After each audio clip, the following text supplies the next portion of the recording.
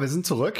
Das nach zwei Games zwischen Eco Phoenix und White Lotus Esports Academy steht es 1 zu 1 zwischen den beiden. Beides Matches, die sich relativ früh sehr eindeutig in eine oder andere Richtung entwickelt haben. Zuerst zugunsten von Eco Phoenix, dann äh, zugunsten von White Lotus. Und jetzt kommt das dritte Match, der Decider. Und wir haben zum ersten Mal auch ein kleines bisschen was ähm, ah ne, nevermind. Ich wollte gerade schon sagen, wir haben ein bisschen, kleines bisschen andere Bands, aber die beiden haben, Teams haben einfach nur die Seiten gewechselt. Was aber auch schön ist, jetzt sehen wir mal wahrscheinlich ein bisschen was an Variation im Draft. Bin gespannt, was Eco Phoenix diesmal first picken möchte, beziehungsweise auch im Wild Loot ist auch letztes Game schon Red Side heute. Noch sehen wir die gleichen Target Bands wie letztes Mal auch.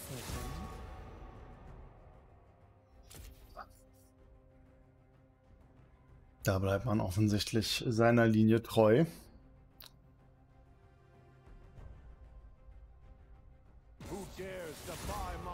Der J4-Bahn. Okay. Anpassung.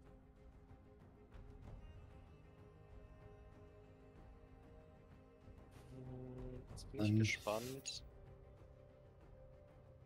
Was nimmt man dafür alternativ als Jungle? Aber interessant, dass man ausgerechnet äh, Jarvan rausnehmen kann. Ich hatte das Gefühl, den hatte man von White Lotus eigentlich durchweg relativ gut unter Kontrolle, aber auch, aber auch Eco Phoenix äh, respektiert den Jungle aus dem letzten Game und nicht... Oh, diesmal wird die Syndra rausgenommen. Okay. Ihren eigenen First Pick. priorisieren diesen Pick also doch so, so sehr.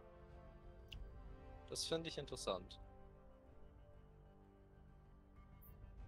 Schauen wir jetzt mal, wofür sie den First Pick nutzen. Und es wird der Noctur. Einmal nicht gebannt und schon ist er gepickt. Ja, es war ja schließlich Echo, die es jedes Mal gebannt haben. Klar, als sie eben, aber auf die, als sie auf Strong Side waren, also auf Red Side waren. Genau. Viego als Antwort, okay, wir sehen jetzt alles sehr high Prio. Jungle Picks, Varus, bekannt dafür, dass er eigentlich immer Lane Prio hat. Vielen Support zusammenklappt. Macht absolut Sinn. Aber es ist schön, dass hier scheinbar nochmal so ein richtiger Upset kommt. Beide Teams wollen mal was Neues ausprobieren zum ja, letzten Spiel. Der Thrash diesmal gepickt für Eco. Ja, stimmt, alle Unfug war ja auch erstes Game, genau. Und da hat das ja ganz gut geklappt auf Swifty. Hat man den Nautilus von Ray relativ gut gecountert damit.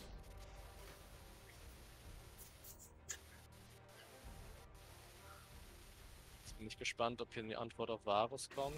Ja, mit Ash. Okay. Das sollte gut passen. Ash gerade wieder sehr am Kommen. Hm, Habe ich auch lange nicht mehr als ADC auf der Botlane gesehen. Aber ja, und, da ist. viele Matchups gegen die ADCs, die ansonsten aktuell stark sind. Kann sowohl Shieldbow als auch Wits End, die momentan wieder solid sind, gut benutzen. Und da kommt die Zoe. Zweiter, äh, einer der, der Main-Champs von Icebonk, wenn man OPGG glauben kann. Und ein Champ, gegen den ich absolut unfähig bin zu spielen. Das ist einer der Hauptgründe, warum ich die Mitte meide.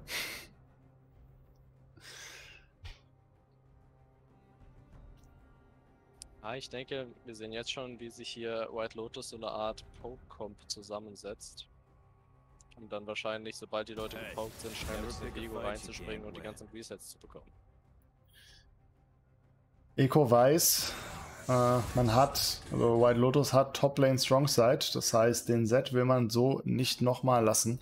Es ist auch ein, also, wenn man so auf die Champs guckt, die er bisher gespielt hat in den Matches, also Cho'Gath und Gnar, ist das auch ein Champ, gegen, den du gegen keinen von beiden haben willst.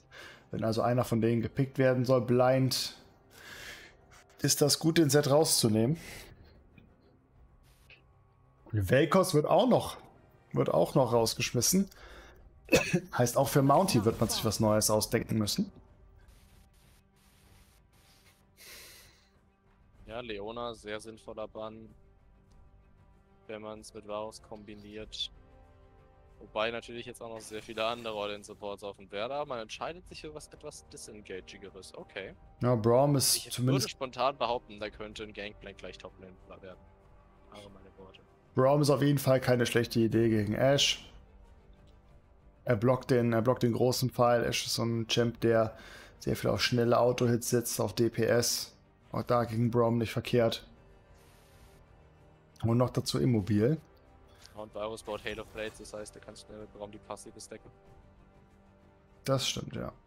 Oriana wird für die Mitte gepickt, ist äh, relativ safe gegen Zoe. Weiß ich gar nicht genau, wie sich dieses Matchup zusammensetzt, aber ja, gegen Zoe ist, glaube ich, immer so ein bisschen so binär. Trifft die Bubble, gewinnt sie den Trade. Muss dir statistisch kurz sagen. Tam Kench. Okay. Tam Kench als Blind Pick auf die Top Lane und dann in den Volibear. Oh, Kench ist ein super guter Blind. Ja. Tam Kench ist ein sehr guter Blind Pick, äh, sehr guter Weakside Champion. Trotzdem gegen Volibear wird er es nicht einfach haben. Max Life Damage, sehr viel Sustain und eine große Hitbox, Hitbox auf Tam Kench, oder? Na, okay. Er entscheidet sich nochmal um. Man nimmt den Mundo. Jetzt bin ich interessiert, wer da gewinnt. Von den zwei Tanks, die sich gegenüberstehen und anlecken bzw. abwerfen. Ah. Ist eine, ist eine gute Frage. Allerdings hätte ich tatsächlich, also vor ein paar Vielleicht. Jahren hätte man gesagt, diese beiden Tanks werden sie ignorieren, die Wave proxyen gegenseitig und dann einen Handshake machen. Ah. Heutzutage machen Tanks leider Schaden, also werden wir mal sehen, wer hier wen als erstes umbringt. Also vielleicht, äh, vielleicht sieht White Lotus das anders, aber ich hätte den Volibear zumindest in dem, äh, in dem Toplane-Matchup, so face-to-face, -face, stärker gesehen als den, als den Mundo. ist ja ein super Lane-Bully, aber vielleicht ist das ist es mal nur der Punkt, dass vielleicht der Kench ihn nicht ausreichend mobben kann und der Mundo dann eben zum Scalen kommt. Den Mundo musst du nämlich dann auch erstmal down DPSen. Ash baut so gerne Shieldbow. Hier in diesem Game kann sie nicht Shieldbow bauen. Wenn sie Shieldbow baut, wird der Mundo niemals Schaden nehmen. Das ist in der Tat wahr. Ist Late Game ein ähnliches Problem wie Cho'Gath, nur mit etwas weniger Burst Damage und dafür mehr Mobility. Also ich finde die Kombination von Nocturne, Oriana Ult sehr nützlich. Du kannst den Ball auf den Nocturne setzen, hast damit einen schönen Gage, auf welches Ziel auch immer du haben willst. Man muss dabei allerdings am Anfang relativ gut zusammenstehen. Ja. Das, ist jetzt, das ist jetzt eine gute Frage. Wenn sich äh, Nocturne mit seinem Jump aus der Oriana Ballrange rausbewegt, dann dürfte er eigentlich direkt ja, zurückblocken, ne? zurück zu, zu Oriana, so ist das immer. Ja.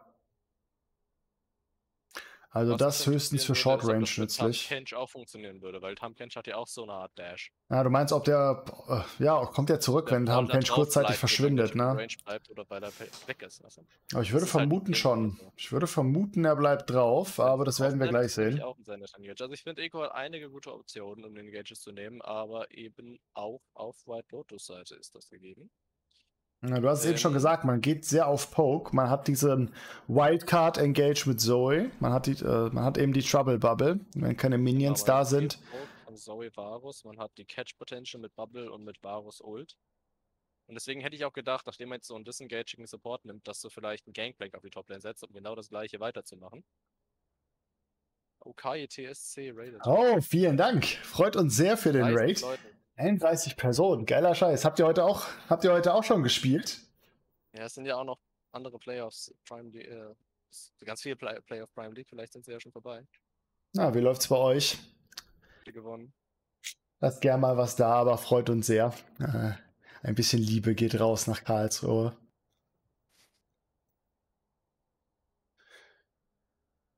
Ah, ich würde sagen, jetzt mit der Comp, die White Lotus dann gebaut haben, sind sie sehr flexibel. Easy 2-0. GZ dafür. Ja, hier könnt ihr jetzt was Spannendes sehen. 1 zu 1 steht es gerade. Äh, mal schauen, was daraus jetzt wird. Ich habe, ich habe, hm, ich bin ein bisschen scared vor dem Viego, muss ich sagen. Äh, der ist halt gegen den Nocturne und gegen den Tarm Kench ist der, glaube ich, ziemlich gut. Äh, und der kann eben sich so ein bisschen hinter Mundo verstecken. Äh, hinter Mundo und Brown, bis der Engagement passiert ist. Und der hat ja relativ starkes Potenzial zum Aufräumen. So, wenn der Groove halt einmal angefangen hat. Mhm. Da bin ich mal ja, sehr ich gespannt. Auch, die Teamfiles der Viego eigentlich sehr viel Spaß haben wird. Weil er kann abwarten, bis durch den Poke die Gegner ein bisschen low sind. Der Mundo kann den Teamfight lang genug snollen, der Braum auch. Und dann sucht sich Vigo genau den Moment aus, in dem er will, um die Resets zu kriegen und den Teamfight zu snowballen. Das ist ja sein Ding.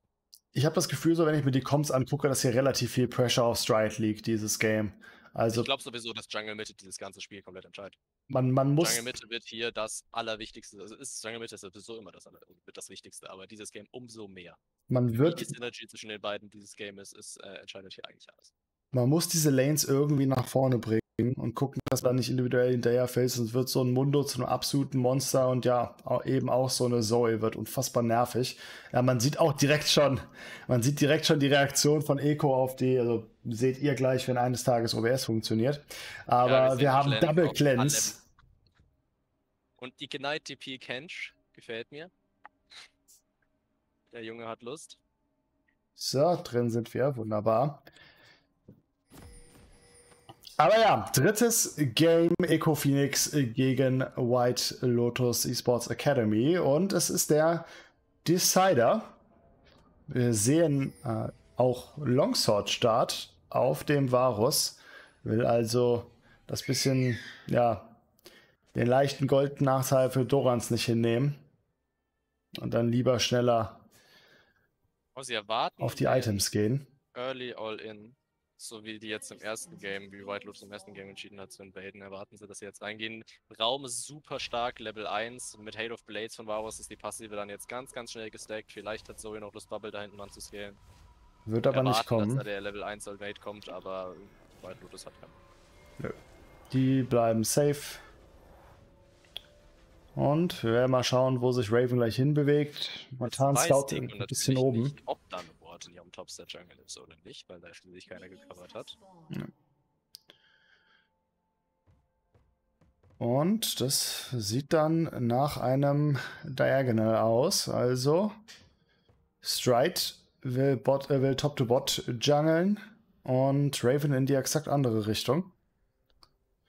Muss also Anti-Smoke ein bisschen aufpassen. Mit Tam ja so dieses, äh, dieser kleine Spezialfall, dass man den aufgrund seiner neuen W ohne Flash spielt und dafür ganz aggressiv mit Ignite, also ähnlich wie jetzt zum Beispiel dasselbe Setup wie jetzt bei einem Champion Camille beispielsweise.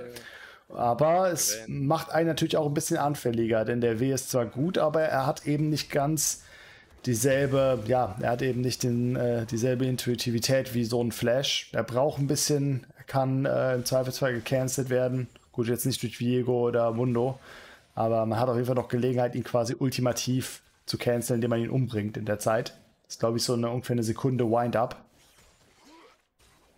Eco hat Bot, Botside äh, gefaked geholt, also sie sind zu spät gekommen mit Absicht. White Und- Lotus hat keine Information darüber, wo, die, äh, wo Nacht schon gestartet hat. Man pusht doch erstmal rein, man will das Early Level 2 sicher haben und die Wave crashen, damit das gleich wieder sich ausgleicht. Vielleicht noch ein, zwei Minions damit denyen. Auf der Top-Lane muss Kambi Sembi erstmal ein bisschen aufpassen, weil durch das Ignite und äh, durch das starke Early Game, was Tam Kench hat, äh, kann das da sehr schnell außer Kontrolle geraten, wenn man da Early die Fights sucht.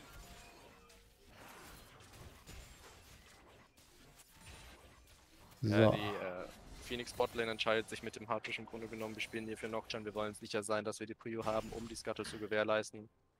Äh, wenn der Viego vielleicht nach unten geparkt hätte, wäre das sehr, sehr wichtig gewesen. Extrem aggressiv. So, erster Fight auf der Toplane Anti-Smoke gegen Kambe Sembi. Beide relativ low. Stun connected nicht. Und jetzt muss Anti-Smoke aufpassen. Oh, der Cleaver wird noch an der Seite vorbei gefädelt. Und den Shield muss er irgendwann einsetzen. Na, beziehungsweise, weil. Wir ihn nicht einsetzt, regeneriert er sich. Jo, klar, aber halt nur für einen Bruchteil davon. Gleichzeitig aber in der Mitte. Schöner Engage, aber die Trouble Bubble rettet Icebox gerade so aus Leben. Flash wird geforst. Und damit der Midlaner von White Lotus in Sicherheit, aber gerade so. Schöner Gang von Stride. Ja, aber durch diesen, durch diesen Fight hat Kambe Sembi sich Atemluft auf der Top-Lane verschafft und ist jetzt sogar hat er jetzt Lane Prio. Und jetzt kommt der Konter-Gang Raven, auf das Konter-Gang, aber Raven auf der Mitte, Stride ist aber dabei. Man hatte keine Vision, hat aber ein bisschen damit gerechnet, wollte kein Risiko eingehen. Und trennt sich deswegen wieder, ohne das Ganze in die Länge zu ziehen. Icebonk hat keinen Flash mehr, der muss jetzt gerade aufpassen. Mounty hat zwar keine Ignite, Aber trotzdem, äh, wenn man da unvorsichtig wird, reicht der Burst von so einer Oriana aus, um sich da einen Sneaky Kill zu holen. Aber die Pressure Bot bleibt bestehen. Man hat jetzt natürlich gerade mit der Krabbe ein kleines bisschen verbesserte Vision. Äh, so, und jetzt weiter Counter Engage von Ray. Wird von Thresh auf Abstand gehalten. Schön gemacht. Und jetzt zieht man den Braum selber rein und der muss flashen. Schön gemacht von Swifty.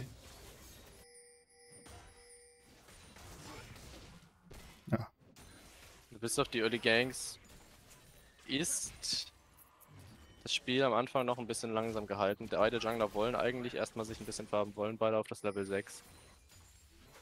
Toplane wurde von beiden auch schon der TP benutzt. Das bedeutet, dass jetzt Kambesembi zwar ein bisschen den Sustain-Vorteil hat mit den, äh, mit den Pots, aber trotzdem hat Anti-Smoke quasi einen freien Heal bekommen, nachdem er so weit hinten war. Schöner Grab hier auf der Bot wieder von Swifty, aber Ray hat natürlich den Shield ready und muss aufpassen, dass er da nicht selber im Bedrängnis gerät. Swifty nimmt mehr Schaden hier raus als Ray.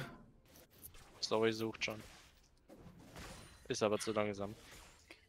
Gnite ist auf beiden Seiten noch da. Und kein Heal, auch wichtig.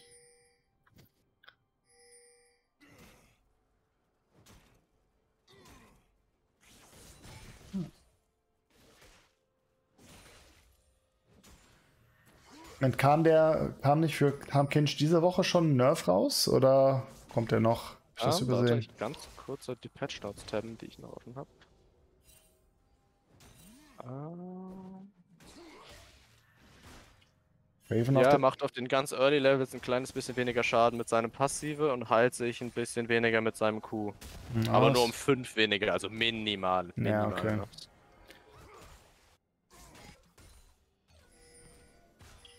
So, Rave eben auf der Top-Lane gewesen, aber die Wave ist so konstant eingepusht, dass es da wenig zu holen gibt.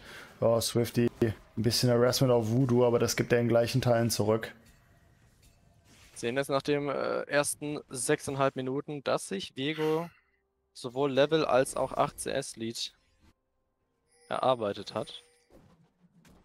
Ist ein ja. bisschen schneller da im Clearen. Ja, ich weiß nicht, ob er eben in der Mitte da was geleached hat. Aber. Jedenfalls liest er sich gerade im Blubber. Ja, das ist auf jeden Fall unschön. Den zu klauen sind 160 Gold haben und nicht haben. White Lotus Botlane respektiert auch, wissen, dass ihr Jungler hier Topside ist, halten die Wave gefrozen. Unter dem Risiko, dass vielleicht Nocturne hier jetzt Lust hätte, weißt du? Und man hat auch keine, man hat keine Vision in dem eigenen Jungle. Raven, äh, Stride wird da jetzt hochlaufen, ist noch nicht Level 6 und wird einen leeren Jungle vorfinden. Äh, und Raven kann gleich einfach in seinen Botside-Jungle wieder gehen, beziehungsweise er kann eigentlich sogar schauen, ob er Stride irgendwo im Jungle abfangen kann. Er hat jetzt keine Safe ah, Vision mehr. bitte hier mit oh. der Ult. Könnte gehen, ja. ja. und es reicht. Erster Kill geht an den äh, geht Meanwhile, an den Lego. Sekunden später nicht das First Blood bekommen. Aber das und der geklärte Jungle machen halt dann schon die erste, der erste geldwerte Vorteil in diesem Match. 500 für White Lotus. Plus der und eine Kill war für Viego, der andere für Tam Kench. Wo habe ich ihn lieber? Ja, das, das auch. Nur dieses für, für, so, für so Champs wie Viego ist das Schienen so viel besser geworden, seit sie das Mana runtergenommen haben. 700, 700 Gold für diesen Vorteil in Damage. Schade, Dragon sieht ihn, dass er Dragon startet. Das könnte entweder mit Herald beantwortet werden, wenn Stride darauf Lust hätte. Naja, bleibt aber lieber auf der Top-Lane. Top Bewegt sich jetzt runter, könnte er hat sein Ultimate noch, aber man will Kambesembi da definitiv nicht diven. Und jetzt ist es vielleicht ein bisschen zu spät, um noch Herald anzufangen.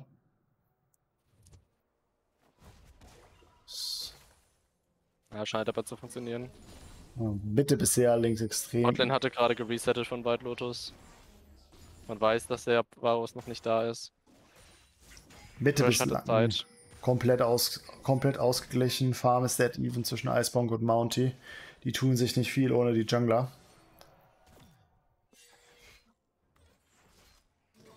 Stride ist jetzt am Herald dran. Oh, Drowsy auf Swifty, der geht auf Half-Life, aber noch nicht gefährlich. Jetzt kommt Kambesi zum Herald. Ich habe jetzt nicht gesehen, wer den bekommen hat, aber ich glaube, es war Stride. Man muss jetzt gucken, dass man irgendwie Ja, den, den- Mundo da bekommt. Raven ist nämlich auf dem. Weg und auch das gesamte restliche Team. Tamkench wird da wegkommen, schön gemacht.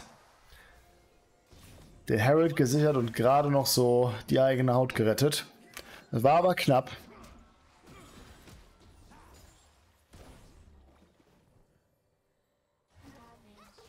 Ich sehe nächster. übrigens jetzt eine ganze 20 CS-Lead im Vergleich von Diego und Nocturne.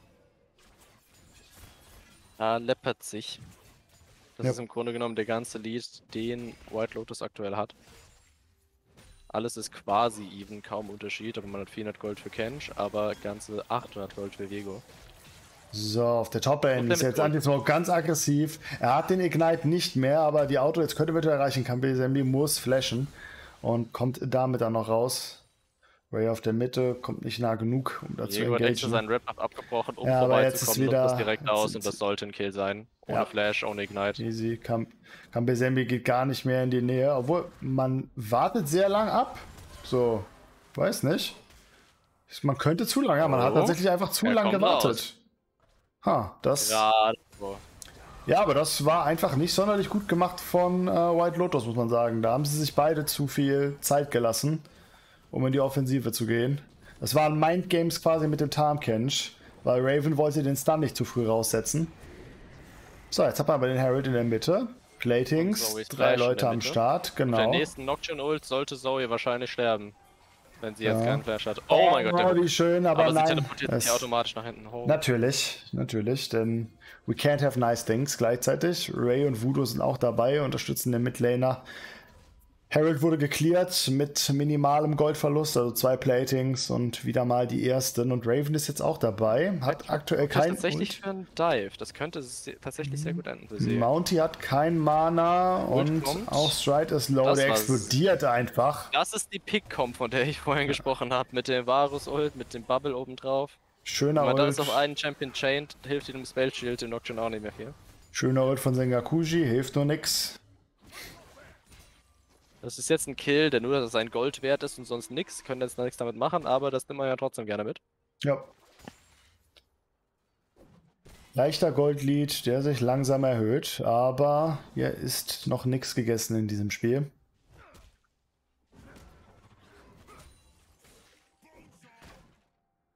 Ich bin einfach gespannt auf die nächste Nocturne Ult, wo er sie wohl setzen wird. Er weiß, dass Mundo keinen Flash hat, er weiß, dass Icebomb keinen Flash hat.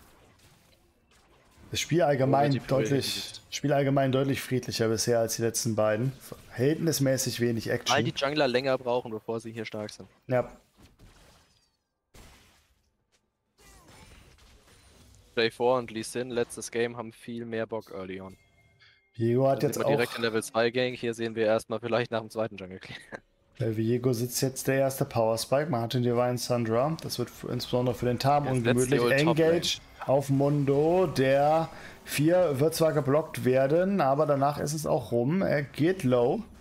Und jetzt könnte man Ah. gucken, ob man auf den Dive pusht. Mounty in der Mitte. Oh, Ich weiß ja nicht. Zwei ich Drittel bin nicht live. glücklich damit, dass er das auf die Toplane setzt. Ich sehe nicht den, den Mehrwert daraus, den Mundo so sehr zu fokussen, wenn man stattdessen die Zoe fokussen könnte. das Problem ist, dass es sehr schwer ist, den Mundo zu double-taggen, was CC angeht. Genau deshalb. Die Zoe ohne Flash ist, ist ein viel leichteres Ziel in dem Moment und so squishy, dass sie ganz schön geburstet wird. Mit Mundo Ult ab ist der Knock-up von Tam Kench fast unmöglich zu treffen. Oh, Ignite wurde gesetzt, aber man kann Er hat die rauslaufen. Ult mit der Passiven überlebt, der Mundo. Er hat die Ult also we- wegen seiner äh, Passiven die Kam Kench Ult nicht abbekommen. Äh.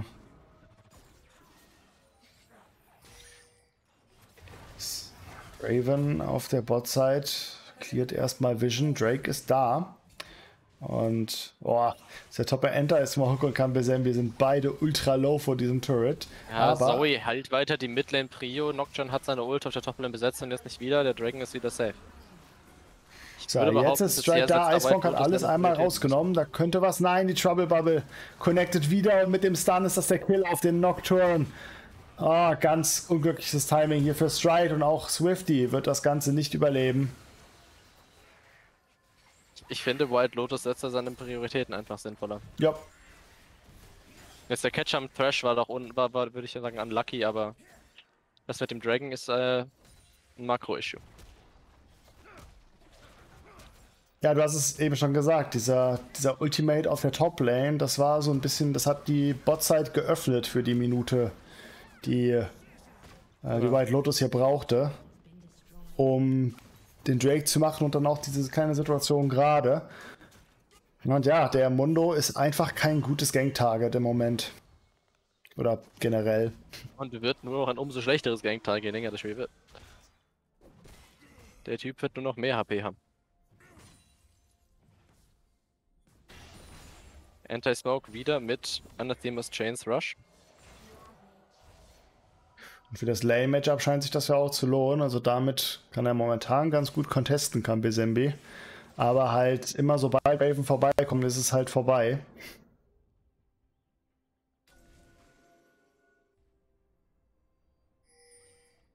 Und Ash entscheidet sich tatsächlich, Shieldbow zu bauen. Ich habe mich schon gewundert, äh, also Hail of Blades ist natürlich super toll, weil es im Early so viel stärker ist als das Lethal Tempo, aber entscheidet sich doch, weiter Shieldbow zu bauen. Ich sehe nicht ganz, wie sie vorhat, dem Bundu mehr als einen Schaden pro Autotech zu machen. Ganz knappe Trouble Bubble auf der Botlane. Da hätte sich Icebonk fast den ersten Kill auf den ADC gepickt, aber Anti-Smoke ist gerade ganz alleine hier. Stun ist jetzt raus, das heißt, er kann drüber springen und sich damit in Sicherheit bringen. Harold wird man aber droppen müssen. Da ist sieht die Lantern und denkt sich, was soll ich damit? Ich kann doch springen.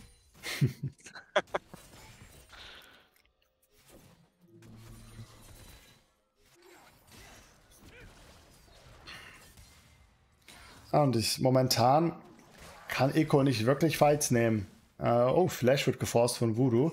Das macht Anti-Smoke gut, aber. Schaden den Tag. Äh, ja, Raven ist nicht. wieder da. Raven ist wieder da und damit ist es vorbei. Der Kill geht drauf. Ganz später Engage von Strider. Kriegt zwar den Kill, aber wird das auch mit dem eigenen Leben bezahlen dafür. Da denke ich, glaube ich, meine ich, schätze ich. Er oh, kommt tatsächlich die raus. hat ihn so gerettet. Mit dem ja. Flash nach vorne, um ihn mit der Ult nach hinten zu ziehen.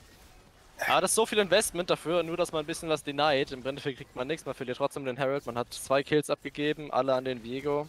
Und auf der Botlane ist gleichzeitig Sengakuji gegen Kambesembi gefallen. Mhm. Sag doch, das Jungle Mitte ist dieses Game halt einfach das Wichtigste und äh, White Lotus stellt sich da besser an, dieses Spiel. Ja, und ja, genau das. Die spielen dieses Game einfach besser und ich glaube auch tatsächlich, dass es die Comp einfach mehr auszahlt. So. Ich, ich glaube wirklich nicht, dass es dieses Game and Draft Issue wäre. Der, der Meinung wäre ich nicht.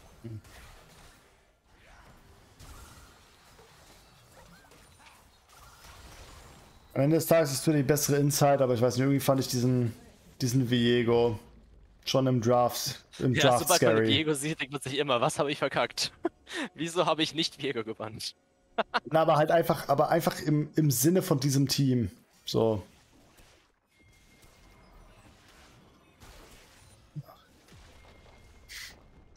Jetzt noch einmal den Disrespect. Auto-Hit.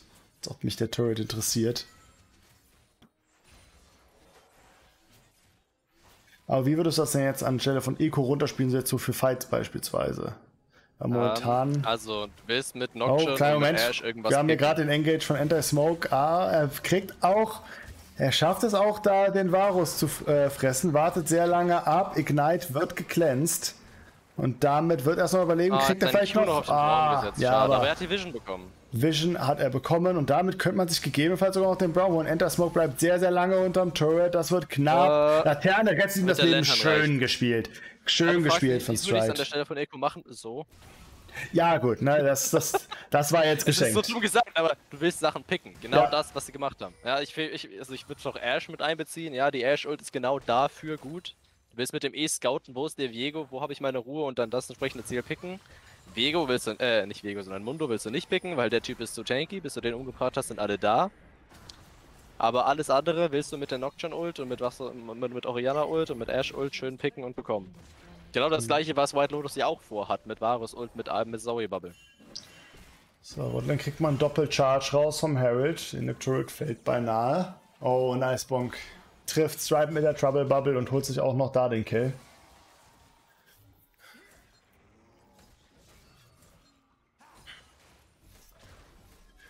Ah, Anführungszeichen nur drei Kills Unterschied. Also auch hier der Goldvorteil wieder vor allem durch Farm auf dem, auf dem Jungle. Ja, guck dir, guck dir mal, guck dir mal die Minimap an und zähl mal, wie viele Turrets da für wen stehen. Ja, Allein die Map Control, es ist schön, dass die Kills in etwa gleich sind.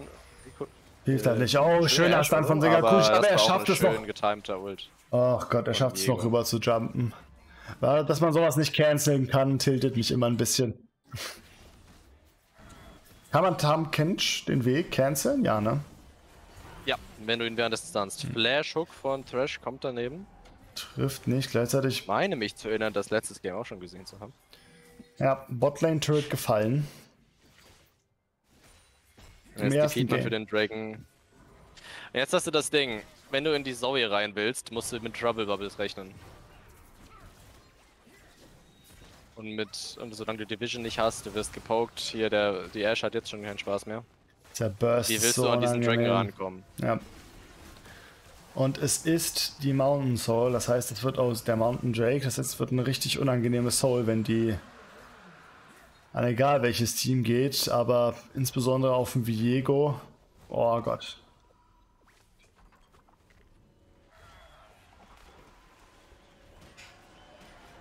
Ja, ich würde sagen, Mountain Soul wird für gewöhnlich ein bisschen unterschätzt.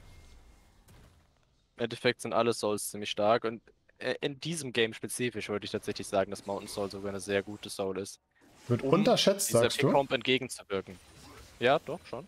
Ich dachte immer, dass. Äh, Also Ocean Soul und Infernal Soul sind die beiden, die du alle haben willst. Cloud Soul ist das Lustige, was, Ja. äh, was eigentlich fast nichts bringt. Und dann Mountain Soul ist so, ein, naja, nimm mal mit, weil warum nicht? ehrlich gesagt, finde ich, find ich Mountain immer. Soul mit dem dicken Schild hat schon ziemlich High Value. Und gerade wenn du jetzt gegen so eine Pick-Comp spielst, ist dieses Schild und diese extra Tankiness um diesen Pick dann vielleicht zu den Nines so gut. Ich gehöre. Oh. Da geht der Tarmken Straussy, aber Raven kommt nicht mehr ganz dran. Ich bin, ich gehöre ja zu äh, den zu den stetigen Verteidigern der Cloud Soul, wenn ich ehrlich bin. So, so viel Movement Speed nach dem Engage ist für viele Champs, glaube ich, deutlich nützlicher, als man meint. Um dran zu bleiben, gerade gerade so für Off-Tanks.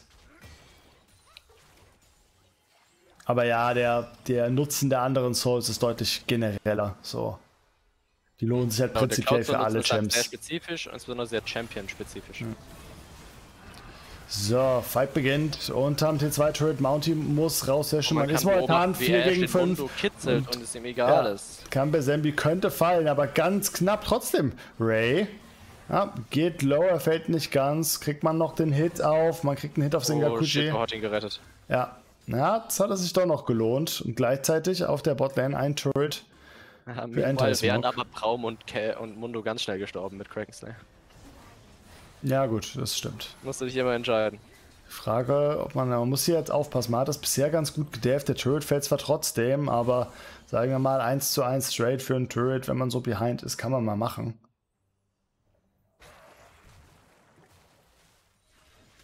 Ist tatsächlich der erste Turret für Eco. Also an der Front White Lotus sehr dominant dieses Game.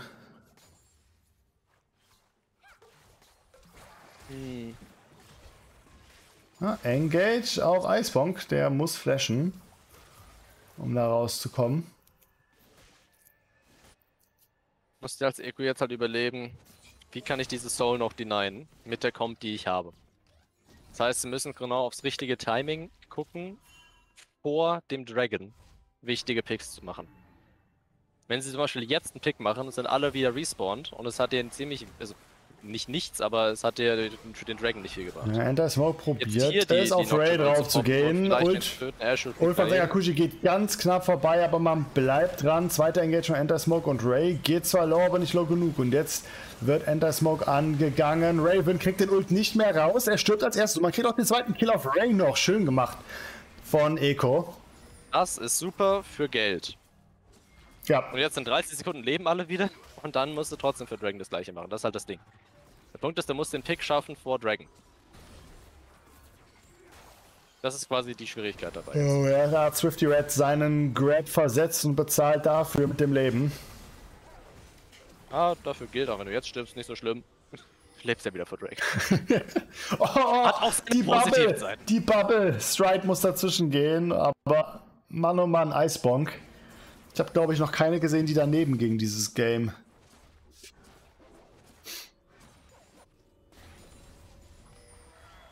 Na, eine Minute. Es wird langsam Eine knapp. Minute. Im Grunde genommen, jetzt geht's um die Wurst. Und welche Cooldowns sind wieder ab? So Nocturne Ult ist gleich wieder da. Threshold wird noch auf Cooldown sein. Ähm, White Lotus hat nur Braum nicht, ansonsten alles. Item Spikes. Daraus hat noch keine zwei Items bekommen, weder in Ash, aber die Zoe und die, ja, die ganze Topside von White Lotus ist einfach in den Spikes ahead. Ja, der Braum wird ready sein für, für den Fight.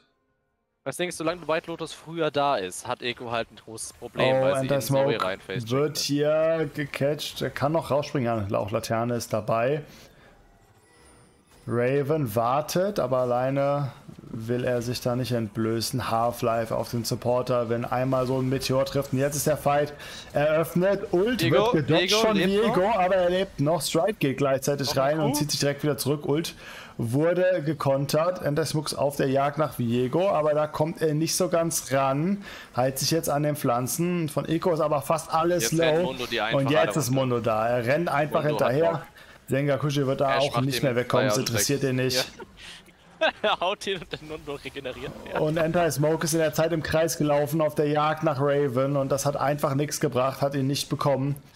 Und ja, das war ein 3 zu 0 Trade und man kriegt auch noch die Soul dafür. Das könnte man fast schon so ein bisschen als Vorentscheidung sehen. Gleichzeitig bewegt sich, äh, bewegen die sich, bewegen die sich auch schon Richtung Baron. Klar, macht ja Sinn, ne? Und Baron könnte ein bisschen cocky sein, aber. Na, nee, Ecos, Ecos äh, Werkzeuge, um was dagegen zu machen, sind halt Ja. auch auf Cooldown. Und der stirbt schneller, als ich das erwartet habe. Wo kommt Das der hätte ich Damage auch nicht her? gedacht. Ganz sicher nicht vom Duskblade Varus. Ich glaube, der Damage kommt tatsächlich vom Mundo, oder? Ja, und den 1K Laser. Zoe-Meteoriten. Aber, na stimmt, es muss von Mundo gekommen sein, hauptsächlich. Ich meine, Mundo macht immer deutlich mehr AD-Damage, als man meint, ne? Also er hat, soll man Ich sagen, er hat, er hat momentan Cleaver gedacht. Der macht 100 doch Percentage Max HP hier. er hat 180 Base plus, ja, gut, Ja, aber genau hier. ja, 30%, 30% Current Health Magic Damage. ja, Wahrscheinlich ist er capped am Baron, aber generell auf 500 gecapped bei Monstern, aber das reicht ja auch dafür, dass das irgendwie zwei, zwei, Genau. drei Sekunden Cooldown hat. Ah, langsam schließt sich hier ein bisschen das Fenster für Eco. Oder soll man sagen, nicht langsam, aber das ich ist würde halt auch behaupten, dass man das Scaling-Game eher verliert als gewinnt. ja, Man unterschätzt immer, wie gut Varus scaled auf vielen Items, weil du drei Sekunden Cooldown auf deinem Q hast, der so Nocturne eine lange Range hat, dass man nicht rankommt. Nocturne fällt Mundo ab. scaled sehr gut und Viego scaled sehr gut. Nocturne hat aber ein Problem später. Tam Kent wird abfangen. Oh, wir haben gleichzeitig den Engage Okay. auf der Okay, Midlane. Raven ist noch geviert, aber nicht lang genug, um dass man ihn da kriegt. Fight geht weiter, Enter-Smoke steht mittendrin, drin, Swifty wird als erster fallen, Enter-Smoke bleibt dran, kriegt immerhin Voodoo, aber jetzt ist Raven da zum Aufräumen, der erste Ult geht Enter-Smoke im Duell mit Ray, jetzt hat sich Icebox entschieden, nö, man überlässt Enter-Smoke einfach dem Supporter, denn man muss den ja nicht töten, äh, muss ihn nur davon abhalten, wegzugehen. Also ohne jetzt ein Replay zu haben, um das genau zu sehen, würde ich einfach behaupten, dass wahrscheinlich einfach da das Gold fehlt. Ja. Wenn man da selbst nicht 7000 Gold behind ist, Momentan fehlen die dann Stats. hätte das geklappt wahrscheinlich. Es fehlen die Stats, man hat die Soul. Das hätte durchaus funktionieren können. Und ich glaube fast, dass man da durchmarschieren. ja, welchem Mounty ist Lego da. das Steffen. Oriana gegen Baron Minions kannst du auch Ja. sparen. Aber man ist wieder, nee, man ist wieder defensiv. Grund, warum die gehen. Na gut. Ich glaube glaub auch nicht, dass sie den nicht mehr in der Base verlieren würden, aber. Man spielt Also- sicher, man hat ja auch keinen, keinen Zeitdruck. Ja, man, man hätte sich sogar das Risiko leisten können, weil was will Eco machen, selbst wenn sie einen Clean-Up hinkriegen. Aber so hat man den Baron einfach eventuell noch für einen zweiten Push und zumindest für den Anfang. Obwohl, ne, es könnte knapp werden. Ne? Ah, man sieht irgendwie nie einen Timer für den Baron. Siehst du in-game, aber wenn ich jetzt auf den Leute draufklicke, dann sehe ich es nicht. Ja, 2,30 haben sie. 2,30 ist der Baron gefallen. Aber so lange hält es nicht mehr. Ja, nee, nee. Jeder, jeder Threshold, den ich sehe, ist irgendwie in einem Moment, in dem es vollkommen egal ist. Das ist sehr schade. Ja, Swifty nicht so viel Impact hier nach dem ersten Game gehabt. Ja, und jetzt Kambesembi muss einfach hier niemanden mehr respektieren. Ich nehme an, der hat sein, äh, na, Er dürfte seine Anathemas einfach auf der Ash haben und damit macht ihm keiner mehr relevanten Schaden. Das können wir ja ganz schnell rausfinden. Ja, dem ist so. Ja. So, man will die Toplane noch durchkriegen. Wieder Grab geht leider daneben. Und Eco ist schon teilweise auf Half-Life, bevor der Fight wirklich begonnen hat. Der Turret muss abgegeben werden. Ich glaube, das wird jetzt nur noch eine Sache der Zeit. Icebomb trifft die Trouble Bubble. Sehr schön, wird zwar geglänzt, aber auch dafür. Der Meteor wird von Swifty abgefangen. Und damit ist er auch schon klinisch tot. Ult von Braum jetzt raus. Uh, Ult von Ash keinen sonderlich großen Effekt mehr. Strike geht rein. Hat Sonias? Nee, Icebox hatte Sonias dabei und Stride beide. Man Trailkit und es sieht tatsächlich aus, würde Eco das der wird, hätte ich nicht gedacht.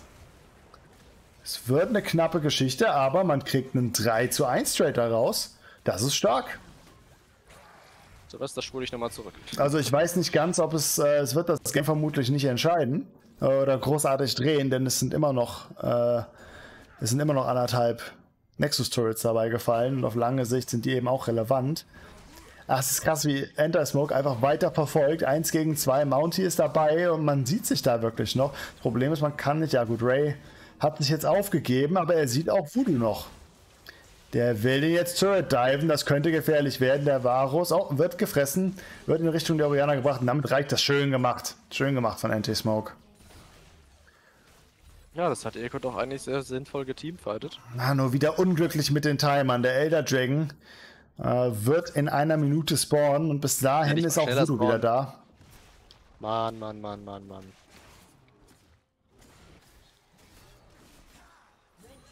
Aber das macht doch Hoffnung.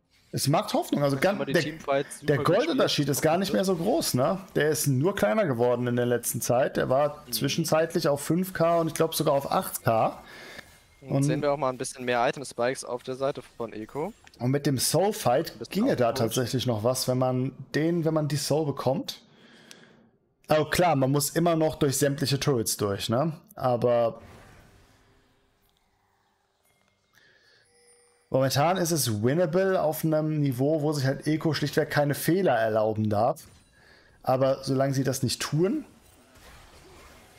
ist oh, das schöner ein Hook schöner Hook jetzt, wo es mit ein schöner Ult. Und da wird die Zoe rausgenommen. Raven muss über die, die Mauer gehen. Wird verfolgt von Stride, der tatsächlich erstaunlich gut dueln kann. Jetzt erst kommt die Unterstützung und damit fällt Strike. Aber Anti-Smoke ist hinten drin. Gleichzeitig kann Besembi, dem halt wirklich alles egal ist. Der tankt da easy 1 gegen 3. Und Raven äh, ultet über den Hook rüber. Und damit dürfte der Groupfight gelaufen sein, Anti-Smoke und Mounty als letzte übrig. Man tradet 3 gegen 2, nevermind, 4 gegen 2, wenn Mounty noch erwischt wird, aber den kann man auch einfach ignorieren. Der ist Low Mana, Low Life. Äh, ja, aber Anti-Smoke sieht sich da jetzt irgendwie. Ja, das ist ein Verzweiflungsplay. Ja. ja. Damit ist das Ganze gegessen. In Schade, der Teamfight sah sehr winnable aus. Bis, äh, er sah sehr, sehr winnable aus, bis man einmal den Blick runter gemacht hat in Mundo, der im 1 gegen 3 keinen Schaden genommen hat. Und ich glaube, die müssen nicht mal mehr selber sich hinbewegen, denn das wird ein Fotofinish ohne einen einzigen Champ. Oh boy. Oh, na, die Minion respawned. Es muss jemand mindestens noch bei den Nexus anpusten. Ja. Letzter Inhib, ah, der braucht noch zu lang. Man reißt einfach wieder einen neuen ein. Und ja, da wird man so eine ah, Defense nicht mehr hinkriegen. stimme ich zu, dass der Kraken Slayer weiter sinnvoller wäre. Ja. Kraken Slayer wäre gut gewesen, das hast du ja schon von Anfang an gesagt. Äh, dass das eine Abwägungssache war für Sengakuji. Und am Ende hat der Mundo dann diesen Group Fight entschieden, irgendwie für das Team, einfach nur durch seine Anwesenheit. Anyway, Mit Erfolg teilen. Ja, anyway, well played, White Lotus. Viel Erfolg, im, äh, viel Erfolg wünschen wir euch im weiteren Verlauf des Brackets. Vielleicht stößt man ja nochmal aufeinander. Ansonsten gut gespielt für die Ravens. Sie kriegen jetzt erstmal eine kleine Pause. Sind danach heute im zweiten Match im Losers Bracket. Das dürfte ungefähr um 18 Uhr hier losgehen. Und ja, bis dahin machen wir hier auch erstmal Päuschen. Ich weiß nicht ganz, ob ich den Stream laufen lasse. Und danach äh, wird Raphael von Lorenz abgelöst. Ich danke dir, oder? Nicht? Ja, Meines Wissens. Ah, okay, ja, genau. Wirst du von Lorenz abgelöst. Ich danke dir ganz herzlich für den Co-Cast. War mir dir. immer eine Freude. Und all euch andere sehen wir um 18 Uhr wieder und hoffen, dass die, äh, das Ecophoenix dann ein Comeback hinlegt. Bis später. Bye bye.